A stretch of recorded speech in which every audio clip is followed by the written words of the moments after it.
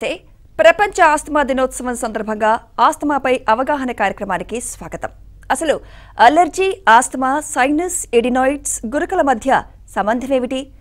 Asthma వల్ల పిల్లల్లో పెరుగుదల ఆగిపోతుందా? ఆస్తమాని ఎలా గుర్తించాలి? ఎలాంటి జాగ్రత్తలు తీసుకోవాలి వంటి విషయాలను మనతో చర్చించడానికి ప్రముఖ అలర్జీ ఆస్తమా వైద్య నిపుణులు Swasa hospital chairman doctor Vishnu Rao Veerapaneni garu మనతో పాటు ఉన్నారు. వారిని అడిగి మరిన్ని విషయాలు తెలుసుకుందాం. నమస్కారం డాక్టర్. నమస్తే అమ్మా. Welcome to the studio. Thank you. అసలు ప్రపంచ ఆస్తమా దినోత్సవాన్ని ఎందుకు జరుపుకోవాలంటారు డాక్టర్? ప్రపంచ ఆస్మా దినం ఇప్పుడు పంతొమ్మిది వందల తొంభై మూడులో ప్రపంచవ్యాప్తంగా ఉన్నటువంటి డాక్టర్స్ ఎవరైతే లీడర్స్ ఉంటారో ఈ సెగ్మెంట్లో అలర్జీ ఆస్తమా పల్మనాలజీ సెగ్మెంట్లో వాళ్ళందరూ కూడా డబ్ల్యూహెచ్ఓ ఆధ్వర్యంలో ప్రపంచ ఆరోగ్య సంస్థ ఆధ్వర్యంలో ఈ అలర్జీ ఈ ఆస్తమా మీద ఒక డిస్కషన్ వచ్చింది. ప్రపంచవ్యాప్తంగా ఆస్తమా అనేది పెరిగిపోతుంది. ముందర ఆస్తమా అంటే ఏంటి? ఆస్తమా అంటే ఊపిరితిత్తుల్లోని వాయునాళాలకు సంబంధించిన వ్యాధి. శ్వాస నాళాలు మూసుకొని పోతాయి. సో గాలి తీసుకోవటం వదలటం అనేది చాలా కష్టం అవుతుంది అంటే ఆస్తమా గ్రీక్లో టు ప్యాంట్ అంటారు బ్రీత్ బ్రీత్లెస్నెస్. సో అదొక నరకం. అయితే ఈ జబ్బు అనేది ఎప్పటి నుంచో ఉంది. హిపోక్రటిస్ టైం నుంచే ఉంది. బీసీ నుంచే ఉంది. బట్ రాను రాను ఇంకా దాని యొక్క తీవ్రత అనేది పెరిగిపోతూ ఉంది. అప్పుడు పంతొమ్మిది వందల తొంభై మూడులో అందరూ కూర్చొని ఏం చేయాలి? ప్రపంచవ్యాప్తంగా పెరిగిపోతూ ఉంది.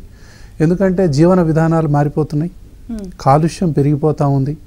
సో దానికి తోడుగా ఈ జబ్బు కూడా విపరీతంగా పెరిగిపోతూ ఉంది. అభివృద్ధి చెందిన దేశాలతో పాటు అభివృద్ధి చెందుతున్న దేశాల్లో ఇంకా శరవేగంగా పెరిగిపోతుంది బికాస్ ఆఫ్ పొల్యూషన్ సో ఇదేంటంటే వ్యక్తిని కుటుంబాన్ని సమాజాన్ని అతలాకుతలం చేస్తుంది. ఏ విధంగా? ఒక వ్యక్తికి గనక అలర్జీ ఆస్మా ఉంటే సపోజ్ ఆ వ్యక్తి ఏ పని చేయలేడు. ఒక శ్రామికుడు కావచ్చు ఒక ఉద్యోగి కావచ్చు ఒక ఫ్యాక్టరీలో పనిచేసి ఎవరైనా కావచ్చు. ఒక మహిళ కావచ్చు ఎవరైనా కావచ్చు వాళ్ళు పని చేయకపోతే కుటుంబం ఎట్లా నడుస్తుంది? కుటుంబంలో ఇద్దరు ముగ్గురు సఫర్ అవుతూ ఉంటే ఆ కుటుంబ ఆర్థిక పరిస్థితి ఏమైంది ఈ విధంగా సమాజంలో కొన్ని వందల మంది కనుక బాధపడుతుంటే పనిచేసేటటువంటి ఒక ఫ్యా- ఫ్యాక్టరీలో ఒక వంద మంది పనిచేసే కాడ ఒక పది మందికో ఇరవై మందికో ఆస్మా ఉందనుకోండి. దానివల్ల సమాజానికి ఎంత నష్టం? ప్రొడక్టివిటీ ఎంత తగ్గిపోద్ది?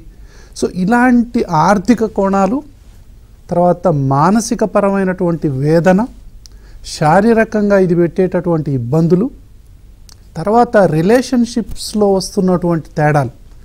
అలర్జీ ఆస్మా కనుక ఒక కుటుంబంలో ఉన్నట్లయితే భార్యాభర్తల మధ్య విపరీతమైన ఎమోషనల్ ఫీలింగ్స్ ఉంటాయి. సో చాలా గ్యాప్ వచ్చేస్తుంది. ఎప్పుడు చూసినా దగ్గుతారు తుమ్ముతారు ఆయాసపడతారు అని చెప్పి ఒకళ్ళని ఒకళ్ళు ఒకలాంటి అసహించుకునే పరిస్థితి. సో ఇది కంటికి కనపడని బాధలు ఆస్తమాలో ఉన్నన్ని ఎన్నో ఎర్లో ఉండవు. ఎందుకు? బయట చూస్తే బాగానే ఉంటారు. సో ఇట్లా ఇది కుటుంబానికి సమాజానికి దాని తర్వాత వ్యక్తికి గుదిబండగా మారుతుందని చెప్పి తొంభై మూడు తొంభై ఐదులో దానికి ఒక డిక్లరేషన్ చేసి తొంభై ఎనిమిదిలో ఫస్ట్ వరల్డ్ ఆస్తమా డేని డిక్లేర్ చేశారు.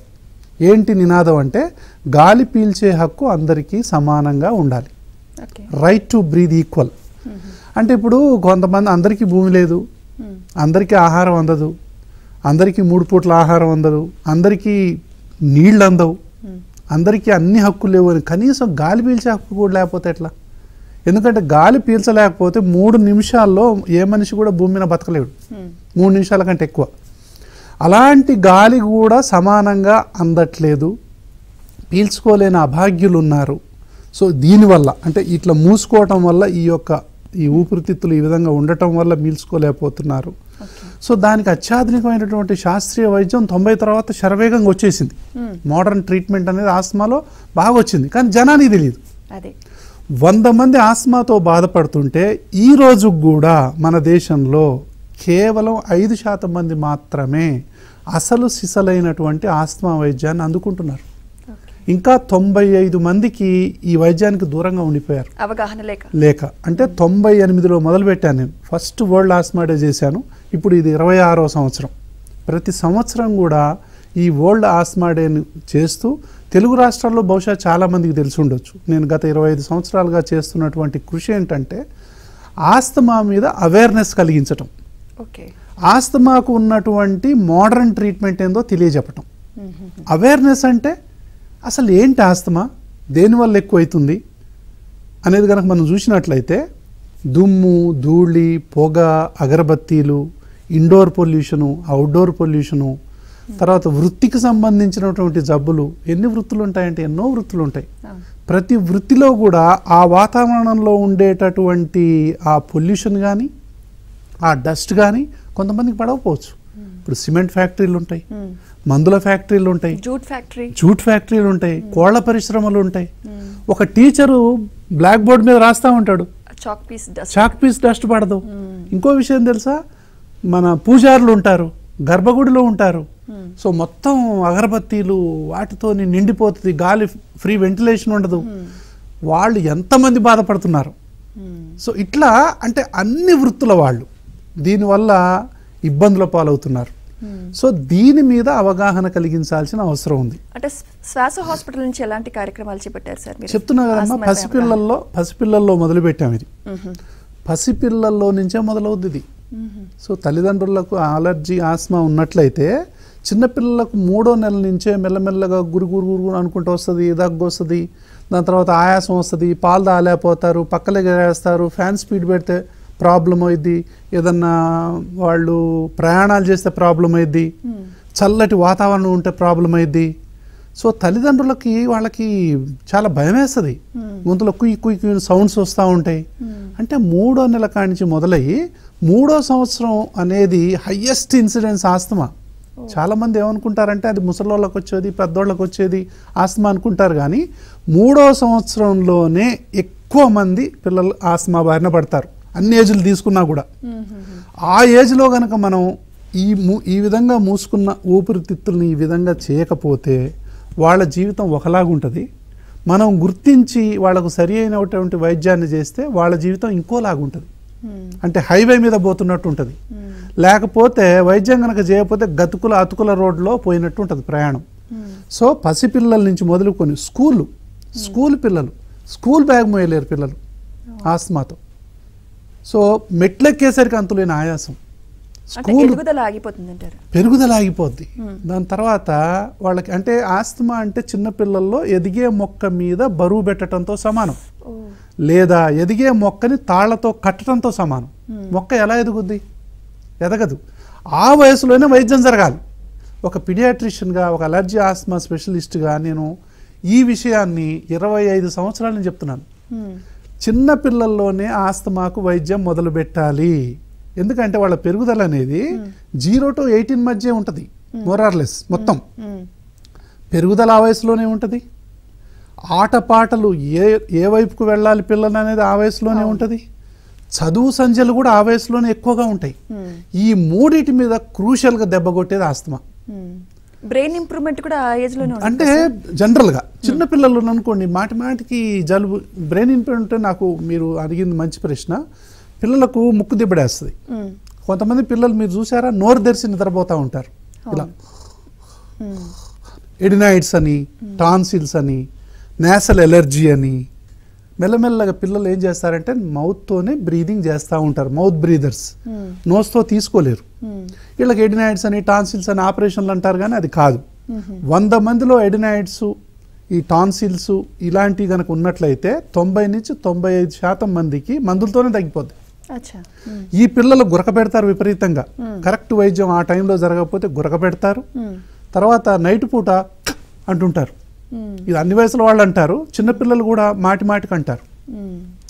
ఈ చిన్నపిల్లల్లో ఈ ముక్కు దిబ్బడు ఉన్నటువంటి ప్రాబ్లమ్ను మనం చిన్నప్పుడే గుర్తించి వైద్యం గనక ఈ అలర్జీ ఆస్తమాకి వీటికి చేయకపోతే వాళ్ళ ముఖం మొత్తం కూడా ముఖం షేప్ పాడైపోద్ది. ఓ. పెదాలు లావైపోతాయి పళ్ళు పైకి వస్తాయి దాని తర్వాత వికారంగా తయారవుతారు. తర్వాత ఇంకోటి ఏంటంటే వాళ్ళు హైపర్ యాక్టివ్ అవుతారు. ఎంత పెంకి పిల్లలుగా తయారవుతారంటే అసలు వాళ్ళని పట్టుకోవటానికి పది మంది కావాలి. ఈ పిల్లలు ఎక్కువ అల్లరి చేస్తున్నారు అందుకనే గుర్తుపెట్టుకోండి వంద మంది పిల్లల్లో ఎక్కువ విపరీతంగా అల్లరి చేస్తున్నారంటే తల్లిదండ్రుల్లో ఎవరికైనా అలర్జీ ఉందా ఆస్తమా ఉందా. ఈ చిన్న పిల్లల్లో చీటికి మాటికి ఏమైనా జలుబు దగ్గు ఆయాసం ఇలాంటివి వస్తా ఉన్నాయా? ఆ, చిన్నపిల్లల్లో మాటి మాటికి ఈ యొక్క వైరల్ ఇన్ఫెక్షన్స్ కానీ ఇవన్నీ వచ్చి మాటి మాటికి ఆస్తమాగా మారి ఇబ్బంది పెడుతుందా? మాటి మాటికి నెబులైజర్ వాడుతున్నారా? వాళ్ళకు ముక్కు బ్లాక్ అయిపోయిందా? నోరు తెరిసే నైట్ మొత్తం నిద్రపోతున్నారా? ఇలాంటివన్నీ తీసుకోవాలి. సో చిన్నపిల్లలు ఇది కనుక మనం చూసడం బ్రెయిన్ కూడా ఎఫెక్ట్ అవుతుంది. గురక వస్తుంది. స్కూల్ పిల్లలు టీనేజ్ పిల్లలు టీనేజ్ పిల్లల్లో ఇంకా విపరీతంగా అప్పటికెల్లా ఏమవుతుంది అంటే ఐడెంటిటీ క్రైసిస్ వస్తుంది. అంటే ఏంటంటే ఫ్రెండ్స్తో కలవలేరు.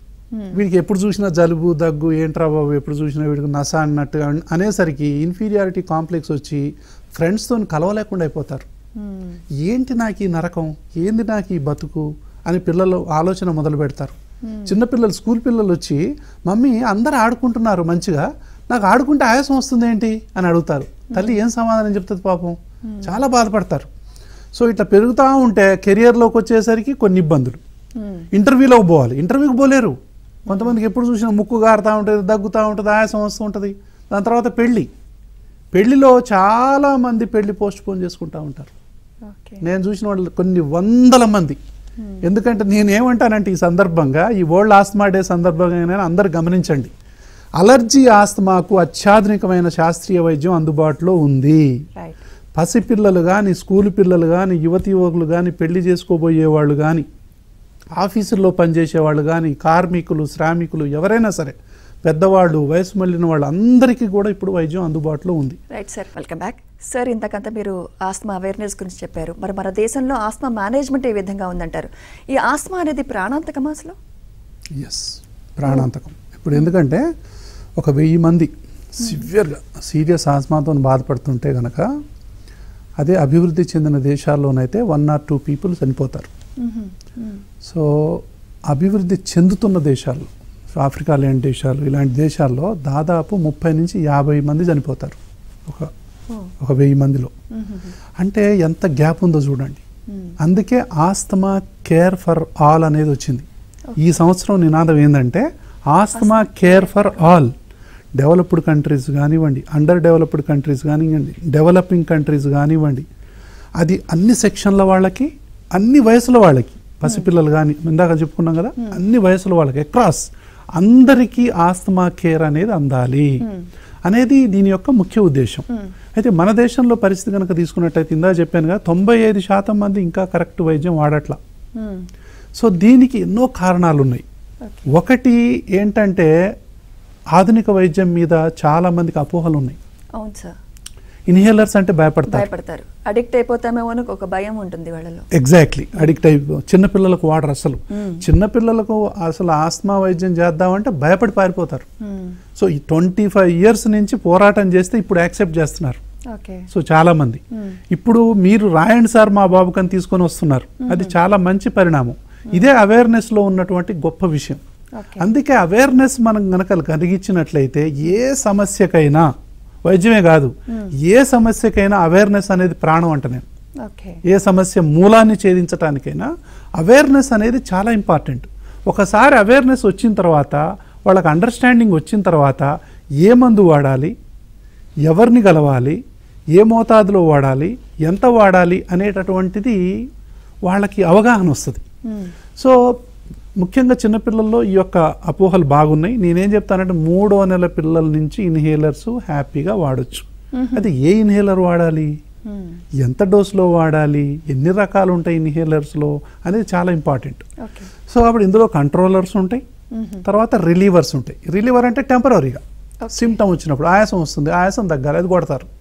కొంతమందికి ఓన్లీ రిలీవర్సే వాడుతుంటారు జీవితాంతం. అది చాలా డేంజర్. కంట్రోలర్స్ లేదా ప్రివెంటర్స్ అది వాడాలి. అంటే లోపల ఈ పొరని కరిగించే మందులు వాడాలి తప్ప కట్లిప్పే మందులు వాడకూడదు. ఓకే. ఈ కట్లిప్పే మందులే వాడుతుంటారు చాలా మంది ఇప్పటికి తొంభై శాతం మంది. సో అందుకే వరల్డ్ ఆస్మా డే యొక్క ప్రాముఖ్యం. అందుకే ప్రపంచవ్యాప్తంగా జీనా ఏం చెప్పిందంటే global initiative on asthma WHO ఆధ్వర్యంలో ప్రపంచవ్యాప్తంగా ఉన్న డాక్టర్లందరూ వాళ్ళు వీళ్ళు కాదు మొత్తం డాక్టర్లందరూ కూడా ఈ ఆస్తమా మీద అవేర్నెస్ కలగ కలిగించాల్సిన అవసరం ఉంది. ఎందుకంటే భూమి మీద అలర్జీ అన్ ఆస్తమా అంత కామన్ ప్రాబ్లం లేదు. ప్రతి ముగ్గురులో ఎవరో ఒకళ్ళు ఏదో ఒక ఎలర్జీతో బాధపడుతుంటారు. అది కళ్ళ దురద కావచ్చు ఒళ్ళు దురద కావచ్చు తుమ్ములు కావచ్చు దగ్గు కావచ్చు ఆయ ఆయాసం కావచ్చు. సమ్ కైండ్ ఆఫ్ ఎలర్జీ ఏదో దాంతో ఎలర్జీలో ఒక భాగమే ఆస్తమా. కాబట్టి ఇది కామనెస్ట్ ప్రాబ్లం కానీ దీనికి రేరెస్ట్ ట్రీట్మెంట్ అంటే మందులన్నీ అందుబాటులో ఉన్నాయి. కానీ దానికి తాళానికి దగ్గర తాళం చేయి పెట్టేలాగా కరెక్ట్ వైద్యం చేసేలాగా కరెక్ట్ పాస్వర్డ్ అంట నేను. ఆస్తమా ట్రీట్మెంట్ అనేది పాస్వర్డ్ లాంటిది. ఓకే. ఇప్పుడు ఐదు లెటర్లు ఆరు లెటర్ల పాస్వర్డ్ ఉందనుకోండి ఒకటి మిస్ అయినా కూడా ఓపెన్ కాదుగా? కాదు. So correct treatment correct dose ఇప్పుడు క్యాప్స్ అనుకుందాం. పెద్ద క్యాప్ చిన్న క్యాప్స్లో లోవర్ కేస్ అప్పర్ కేస్ ఉంటాయి కదా. Hmm. డోస్ ఎక్కువ తక్కువ ఉన్నా కూడా మళ్ళీ తగ్గదు. So correct treatment correct recipe అలా గనక ట్రీట్మెంట్కి చేసినట్లయితే అప్పుడు మనకు ఓపెన్ అవుతుంది. అంతే తప్ప ఎక్కడ పడితే అక్కడ ఓపెన్ కాదది. అందుకే ఆస్మా మీద అవేర్నెస్ పెంచుకోవాలి. ఆస్మా మేనేజ్మెంట్ గురించి అందరు అప్డేట్ అవ్వాలని చెప్పి జినా చెప్తుంది. దానివల్ల మరణాల సంఖ్య తగ్గించవచ్చు. హాస్పిటల్లో అడ్మిషన్స్ తగ్గించవచ్చు. మా హాస్పిటల్లో వచ్చే వాళ్ళకి మేము ఏం చెప్తామంటే హాస్పిటల్కు రాకుండా వైద్యం చేయటమే అసలైన వైద్యం. అలర్జీ ఆస్మా పేషెంట్లని మళ్ళీ మళ్ళీ హాస్పిటల్కు రాకుండా చేయాలి. అంతే తప్ప వారం రోజులకు రా పదిహేను రోజులకు రా అనేది కాదు. Hmm. తర్వాత ఎమర్జెన్సీ విజిట్స్ ఉండకూడదు. ఎప్పుడు పడితే అప్పుడు అడ్మిషన్స్ అవ్వద్దు. తర్వాత ఐసీయూలో అడ్మిట్ అవ్వాల్సిన పరిస్థితి ఉండకూడదు. రిలీవర్ వాడకూడదు. రిలీవర్ వాడకుండా వాళ్ళని మనం ఆస్తమా ఎడ్యుకేషన్ అనేది చెయ్యాలి. చేస్తే అప్పుడు వీళ్ళల్లో అవగాహన పెరిగి తల్లిదండ్రులకు కనుక ఈ అవగాహన ఇచ్చినట్లయితే వాళ్ళు చాలా హ్యాపీగా ఉంటారు. సో ఈ విధంగా ఈ దేశాల్లో అభివృద్ధి చెందుతున్నటువంటి దేశాల్లో ఇప్పుడు ఆఫ్రికా లాంటి దేశాల్లో ఇంకా మందులు వాళ్ళకు సరిగ్గా అందట్లే పాపం. ఓకే. అందుకే ఈసారి ఏం చేసిందంటే వరల్డ్ ఆస్మా డే సందర్భంగా ఈ డెవలపింగ్ నేషన్స్లో ఈ అండర్ డెవలప్డ్ నేషన్స్లో అన్ని అక్రాస్ సొసైటీ ఈ ఆస్మా వైద్యాన్ని అందించాల్సిన అవసరం ఉంది. ఈవెన్ మన దేశంలోనే పరిస్థితి ఈ విధంగా ఉంటే ఇప్పటికి కూడా అంటే పెద్ద పట్టణాల్లో తప్ప మీరు మండలం లెవెల్ ఒక గ్రామీణ ప్రాంతం లెవెల్ కనుక చూసినట్లయితే ఆస్మాకు సరి అయినటువంటి ట్రీట్మెంట్ అనేది జరగట్ల. ఎన్నో రకాల అపోహలు ఉన్నాయి కదా. ఒకళ్ళు ఆయుర్వేదం అంటారు ఒకళ్ళు అలోపతి అంటారు ఒకళ్ళు హోమియోపతి అంటారు ఒకళ్ళు మూఢనమ్మకాలు అంటారు నాటు వైద్యాలు అంటారు చేప మందులు అంటారు. రకరకాలు అంటారు. మ్మ్. నేనేమంటానంటే ఆస్తమా పేషెంట్ అనేవాడు ఈరోజు నాలుగు రోడ్ల కూడలిలో నిలబడి ఉన్నాడు. కన్ఫ్యూజన్ స్టేట్లో ఉన్నారు. కన్ఫ్యూజన్ స్టేట్లో ఉన్నారు. ఒక్కొక్కళ్ళు ఒక్కొక్క హంగామా. మ్మ్. అయితే ఈ ఆధునిక వైద్యం గురించిన హంగామా చాలా తక్కువ ఉంటుంది. దీని మీద అవేర్నెస్ మ్మ్. అత్యంత ఆధునికమైన శాస్త్రీయ వైద్యం ఎవిడెన్స్ బేస్డ్ వైద్యం అనేది అలోపతిలో ఉంది. కానీ ఆ విషయం చాలా తక్కువ మందికి తెలుసు. అయితే ఎవరిని విమర్శించడం ఉద్యోగం కాదు నాకు ఇక్కడ. మనం ఏంటంటే చాలా మంది ఏమంటే నేను చెప్పాను కదా కరెక్ట్ కీ పెడితేనే లాక్ ఓపెన్ అవుతుంది. ఆ కీ ఆయుర్వేదం కావచ్చు ఆ కీ హోమియోపతి కావచ్చు అలోపతి కావచ్చు ఇంకేదైనా ఉంటే యునాని కావచ్చు ఇంకేదైనా కావచ్చు. అయితే కీ కరెక్ట్గా ఉంది లాక్ ఓపెన్ అయింది without side effects patient safety చాలా ఇంపార్టెంట్ ఇక్కడ ఓకే ఏదో నాటు మందులు ఇచ్చి అందులో స్టీరాయిడ్స్ అన్ని గుప్పేసి మొత్తం ఐదు రోజుల్లో చాలా మంచిగా అయ్యాడంటే అది కాదు కుదరదు. మ్మ్. పేషెంట్ ఆరోగ్యం బాగుండాలి సైడ్ ఎఫెక్ట్స్ ఉండకూడదు ఆయన జీవితానికి ఇబ్బంది కలగకూడదు సిమ్టమ్స్ తగ్గిపోవాలి అందరి ఊపిరితిత్తుల్లోనే పరిస్థితి ఉండాలి. సో కరెక్ట్కి ఎవరిచ్చినా మంచిదే కానీ మాటలతో తాళాలు ఓపెన్ కావు. మాటలతో తాళాలు ఓపెన్ కావనేటటువంటిది గుర్తుపెట్టుకోండి. ఎవరైనా సరే ఆస్తమా వైద్యాన్ని తీసుకునేవాళ్ళు ఒకటే గుర్తుపెట్టుకోండి. మనం ఎక్కడికి వెళ్తున్నాం ఏ డాక్టర్ దగ్గరికి వెళ్తున్నాం చీటికి మాటికి హాస్పిటల్కి వెళ్ళాల్సిన పరిస్థితి వస్తుందా? చీటికి మాటికి నెబులైజర్ పెట్టుకునే పరిస్థితి వస్తుందా? ఈ ఆస్తలిన్ కానీ ఈ లివోలిన్ కానీ లేకపోతే సాల్మిటమాల్కు సంబంధించిన అన్ని మాటి మాటికి వాడాల్సి వస్తుందా? అంటే మీరు సరి అయిన వైద్యం పొందట్లేదనే అర్థం. ఓకే. మీరు తప్పు కీ పెడుతున్నారు. తప్పు పాస్వర్డ్ కొడుతున్నారు. కాబట్టి అది మీకు తగ్గట్లా. సో ఈ వరల్డ్ ఆస్మా డే సందర్భంగానైనా మీరు ఆధునిక వైద్యం మీద అవగాహన కలిగించుకోవాలి. సో ఎవరైతే కరెక్ట్గా మెడిసిన్స్ వాడతారో వాళ్ళు చీటికి మాటికి హాస్పిటల్కి రావాల్సిన అవసరం ఉండదు. హ్యాపీగా నైట్ మొత్తం ఏ డిస్టర్బెన్స్ లేకుండా నిద్రపోతారు. అందరిలాగే పని చేసుకోగలుగుతారు. ఎంత కష్టమైనా చేసుకోగలుగుతారు. రిక్షా లాంటివి కానీ శారీరక శ్రమకు సంబంధించినవి కానీ బస్తాలు మోయటం కానీ అగ్రికల్చర్లు పని కానీ చేసుకోగలగాలి. చేసుకోగలిగేలాగా మనం చెయ్యాలి. లేనట్లయితే ఏమవుద్దంటే వాళ్ళకు మాటిమాటికి హాస్పిటల్కి వస్తుంటారు మాటిమాటికి అడ్మిట్ అవుతూ ఉంటారు. తర్వాత ఈ చిన్నపిల్లలు కనుక మనం చూసినట్లయితే విపరీతంగా యాంటీబయాటిక్స్ వాడుతూ ఉంటారు. అంటే యాస్మా రావటానికి మూల కారణాలు కనుక మనం చూసినట్లయితే ఒకటి జీన్స్. తల్లిదండ్రుల్లో జీన్స్ ఉంటే పిల్లల్లో వచ్చే అవకాశాలు ఉంటాయి. జీన్స్ ఒక చెయ్యి రెచ్చగొట్టేది ఇంకో చెయ్యి. ట్రిగ్గర్స్ అంటాం. దుమ్ము ధూళి పొగ అగరబత్తీలు సాంబ్రాణి పొగలు సో ఇండోర్ పొల్యూషన్ మన ఇంట్లో కుక్క పిల్లలు పిల్లి పిల్లలు చిలకలు పావురాలు రకరకాలు ఉంటాయి కదా. ఇవన్నీ ట్రిగ్గర్స్ ఇవి జీన్స్ ఈ రెండు కలిస్తే ఈ విధంగా మూసుకునే అవకాశం ఉంటుంది. ఓ మై గాడ్ జీన్స్ని మనం ఏం చేయలేం? ట్రిగ్గర్స్ అన్నీ అవాయిడ్ చేయలేం. కానీ ఇండోర్ పొల్యూషన్ మన చేతుల్లోనే ఉంది. కొంతమంది ఎన్ని అగరబత్తీలు వెలిగిస్తారండి? విపరీతంగా అగరబత్తీలు వెలిగిస్తారు. ఇది సంస్కృతి సాంప్రదాయమే. కానీ ఆరోగ్యం చాలా ఇంపార్టెంట్ నేనేమంటానంటే బయట వెలిగించుకోండి. ఒకటో రెండో వెలిగించుకోండి. కాసేపు వెలిగించండి. ఇంకొకటి ఈ సందర్భంగా ఓల్డ్ ఆస్తమా డే సందర్భంగా నేను అగరబత్తీలు చేసే కంపెనీలకి ఏం చెప్తానంటే ఇంతింత పొడుగు దయచేసి తయారు చేయకండి. అప్డేట్ అవ్వాలా? ఇంత చేస్తే సరిపోదా? ఒక అగరబత్తి పొడవు అంటే ఒక సిగరెట్ పెట్టుకొని బోలవద్దేమో కానీ ఆ సైజ్ సరిపోద్ది కదా? ఆ ఒక పెద్ద అగ్గిపెట్టి ఉంటుంది ఇప్పుడు. పెద్ద పెద్ద అగ్గిపెట్టెలు వస్తున్నాయి కదా? ఆ సైజు కనుక చేసినట్లయితే అవి కొనటానికి ప్రజలు సిద్ధంగా ఉన్నారు. చిన్న అగరబత్తీలు దొరకట్లా? ఇంత పొడుగు అగరబత్తీలు వాడుతున్నారు. అది కాలేసరికల్లా that is equal to six cigarettes అది. గుడ్నెస్ ఒక అగరబత్తి కాలితే సిక్స్ సిగరెట్స్ అంత పొల్యూషన్ వస్తుంది. పొగ ఏ పొగైనా పొల్యూషనే ఏ వాసనైనా పొల్యూషనే ఏ దుమ్ము ధూళి ఇంక్లూడింగ్ పౌడర్స్ కాస్మెటిక్స్ వాసన ఆర్టిఫిషియల్గా వాసన వచ్చే ప్రతిదీ పొల్యూషనే చిన్న పిల్లలకి ఎల్కేజీ పిల్లలకు పర్ఫ్యూమ్ కొట్టి పంపుతున్నారండి. చాలా తప్పు చేస్తున్నారు. చిన్న పిల్లలకు సాంబ్రాణేస్తూ ఉంటారు.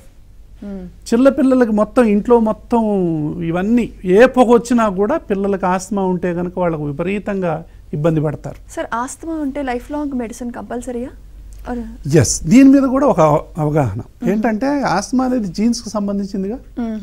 ఒకటి పర్యావరణానికి సంబంధించింది. పర్యావరణానికి సంబంధించిందంటే ఏంటి? అవుట్డోర్ పొల్యూషన్ ఉంది. మన చేతుల్లో ఎక్కువ ఉండదు. ఇండోర్ పొల్యూషన్ మన చేతుల్లోనే ఉంటుంది. అగరబత్తీలు వెలిగించకుండా ఉన్నాము ఓకే. తగ్గింది. సాంబ్రాణి పొగలు వేయకుండా ఉన్నాము. తర్వాత ఇంట్లో పిల్లి పిల్లలు కుక్క పిల్లలు పావురాలు చిలకలు ఇవన్నీ దయచేసి చాలా దూరంగా ఉంచాలి. పావురాల వల్ల కలిగేటటువంటి ఇబ్బందులు ఒక మొత్తం ఒక డిస్కషనే చెప్పొచ్చు. అంత పెద్ద దయచేసి ఫీడ్ చేయకండి. అసలు పావురాలను ఫీడ్ చేయటం కొన్ని యూరోపియన్ కంట్రీస్లో బ్యాన్ చేశారు. దాని పెంట వల్ల వచ్చేటటువంటి ఊపిరితిత్తులు చాలా ప్రమాదకరమైన జబ్బు. ఇర్రివర్సిబుల్ డిసీజ్ అది. ఐఎల్డీస్ వస్తాయి. ఇంటర్స్టిషియల్ లంగ్ డిసీజెస్ వస్తాయి. దయచేసి పావురాలకు ఎక్కడ పడితే అక్కడ ఎక్కడో ఆరు బయట తప్ప ప్రజా సమూహాలు ఉన్న కాడ వాటిని ఎంకరేజ్ మనం చేయకూడదు. సో వాటి తప్పు కూడా లేదనుకోండి అడవులు మాయమైనాయి కాబట్టి మన దగ్గరికి వస్తున్నాయి. అది వేరే విషయం. కాబట్టి ఏమంటారు మీరు? Sir life long medicine life long అయితే బీపీ షుగరు ఎలాంటిదో దాదాపు ఇది చాలా మందికి చిన్నపిల్లల్లో ఇప్పుడు ఆస్మా మొదలైంది అనుకోండి జనరల్గా మూడో సంవత్సరం మూడు నెలల నుంచి మూడు మూడేళ్ళప్పుడు మొదలైతే జనరల్గా టీనేజ్ వచ్చేసరికి చాలా మంది తగ్గిపోద్ది. కానీ ఎనిమిదేళ్ళ తర్వాత పదేళ్ళ తర్వాత మొదలైతే చూసారా? అది చాలా దీర్ఘకాలం ఉంటుంది. లేట్గా మొదలైతే లేట్గా డిసప్పియర్ అయింది ఎర్లీగా మొదల మొదలైతే ఎర్లీగా డిసప్పియర్ అయింది ముప్పై సంవత్సరాల తర్వాత చాలా మందికి వస్తుంది ముఖ్యంగా మహిళల్లో. అది చాలా ఇబ్బందులు పెడుతుంది. కాబట్టి వీటన్నిటికీ కూడా బీపీ ఇప్పుడు బీపీ వస్తుంది. ఎందుకు వస్తుందండి బీపీ? టెన్షన్ పెరిగితేనో లేకపోతే సమస్యలు ఉంటేనో బీపీ పెరుగుతుంది. షుగర్ ఎందుకు వస్తుంది? షుగర్ అనేది ఎక్కువ ఆహారం తీసుకుంటేనో అన్కంట్రోల్డ్ ఫుడ్ ఏది పడితే అది తింటేనో షుగర్ వస్తుంది. మరి ఆస్మా ఎందుకు ఎక్కువైంది అంటే పొల్యూషన్ ఎక్కువైతే. Indoor pollution outdoor pollution. వాటిని మనం ఏం చేయలేము? ఇవి ఎక్కువైతే గనక ఈ ప్రాబ్లం ఉంటుంది కాబట్టి జీన్స్ ఎలాగుంటాయి? ఇవి ఎలాగుంటాయి? సో ఈ రెండింటిని కలవకుండా మధ్యలో ట్రీట్మెంట్ని పెట్టాలి.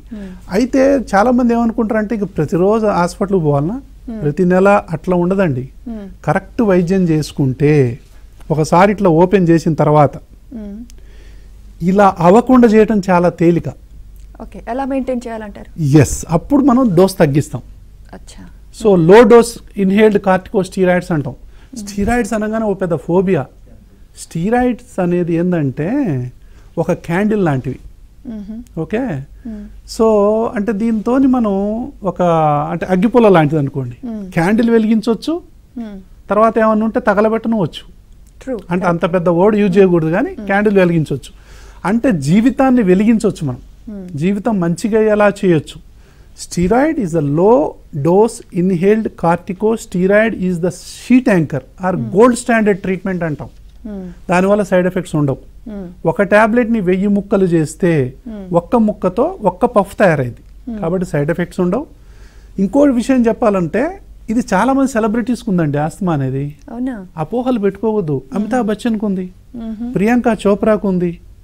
దాని తర్వాత వరల్డ్ ఫుట్బాలర్ ఉన్నాడు బెక్కమ్మా ఆయన పేరు? డేవిడ్ బెక్కమ్ ఆయన ఉంది. దాని తర్వాత వీళ్ళకి చాలా మందికి చాలా మంది బిల్ క్లింటన్కు ఉండే తర్వాత ఎస్ హుస్సేన్ బోల్ట్కు ఉంది ఆస్మా.